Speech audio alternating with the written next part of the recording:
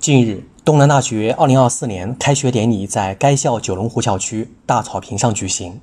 开学典礼上，中国科学院院士、东南大学校长黄儒以“强报国之志，立成才之学”为题寄语新生。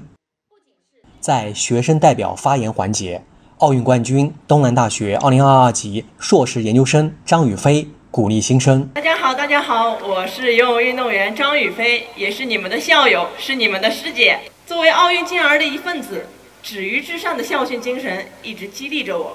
我想，人生最浪漫的事，莫过于祖国壮士，我们正青春，我们必将共同铸就强国圆梦、再立新功的东大篇章。在东南大学冠军大讲堂上，奥运冠军、东南大学2022级硕士研究生张雨霏分享了自己的拼搏故事。在我三岁的时候，其实就带着我下水了。至于很多人问我啊，张雨霏你怎么学会的游泳？我只能说我真的不知道。就是从我记事开始，我就已经会了游泳。嗯，自然而然的水就与我陪伴了已经二十三年的时间。现场，张雨霏还和同学们讲述了一些游泳的小技巧。你可以把手举起来，这样。因为这不是一个蝶泳的垂直动作吗？然后把你的膝盖往前弯，就是，嗯，弯腿撅屁股，弯腿撅屁股。没 事，这只是教大家一个蝶泳的小技巧。之前都是在我的电脑、呃电视、手机上了解学姐在东京奥运会和巴黎奥运会当中的事迹。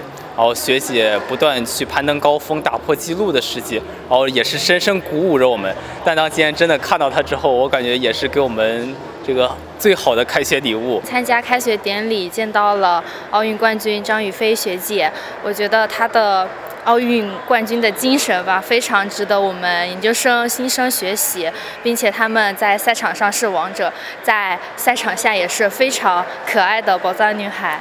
我觉得可以分享她的一种。顽强拼搏的精神，就是为了自己的目标不懈去奋斗，激励我们东大人更好的向上拼搏，给予我们一种力量。今年东南大学共有一万多名本硕博新生参加了开学典礼，东南大学无锡校区、苏州校区的新生线上参加，共同开启“学在东大新征程”。